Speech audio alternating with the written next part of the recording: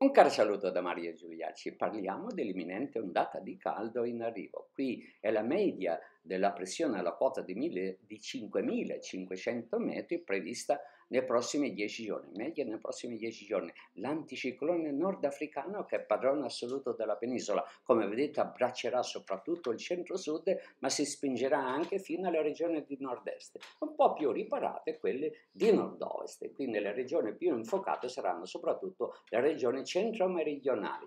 Bene, eh, sul freccia blu invece vedete le eh, correnti atlantiche, le fresche correnti atlantiche, le quali cercano di insidiare l'anticiclone. Ce la faranno appena per due giorni, tra il 12 e il 13 di giugno, ma poi saranno costrette ancora a obbedire all'anticiclone, ma dopo il 15 probabilmente l'anticiclone dovrà soccombere alle perturbazioni atlantiche. Qui è la situazione prevista per venerdì. Sulla sinistra le temperature alla quota di 1500 metri, guardate un po' in marrone, le temperature sono superiori a 20 gradi, quindi si sta avvicinando l'ondata di calore su gran parte dell'Italia. In verde invece le temperature sotto 0 gradi alla quota di 1500 metri. Insomma, in marrone vedete l'ondata di caldo, l'ondata di, di, di calura africana che si sta per avvicinare all'Italia. Sulla destra vedete le temperature massime previste al suolo, potete vedere nelle linee rosse le aree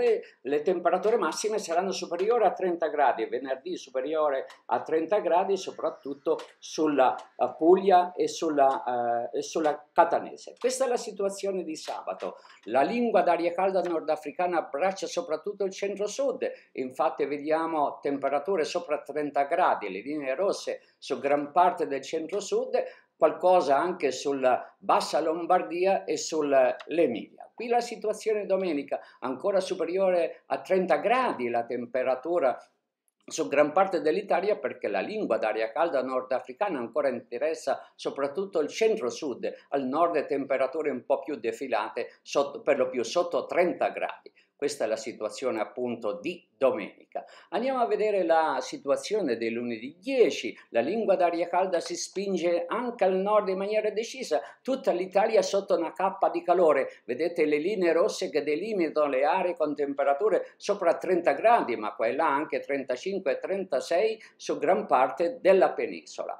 E infine, eh, non proprio infine perché ancora vorremmo parlare del tempo fino al 15, qui è martedì 11, la lingua d'aria calda nordafricana ha insidiata una perturbazione, vedete l'aria verde in arrivo sull'Italia, ma ancora resistono temperature sopra 30 gradi sulla Toscana, la regione di nord-est e gran parte del centro-sud. Arriviamo a mercoledì 12, Ecco l'aria più fresca che finalmente raggiunge il nord Italia, dove le temperature scendono ovunque sotto 30 gradi, ma resistono fino a 30 gradi sulle regioni tirreniche e sulle regioni meridionali e sulle isole maggiori.